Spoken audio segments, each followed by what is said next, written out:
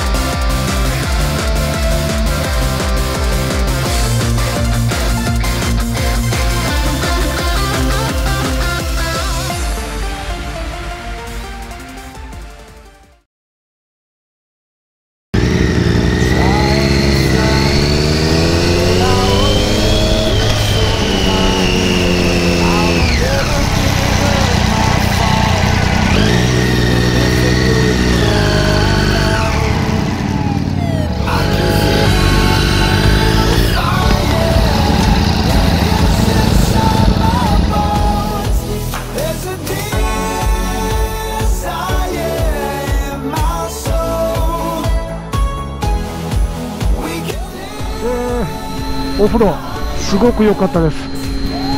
あの富士山が丸見えの露天風呂最高でしたね。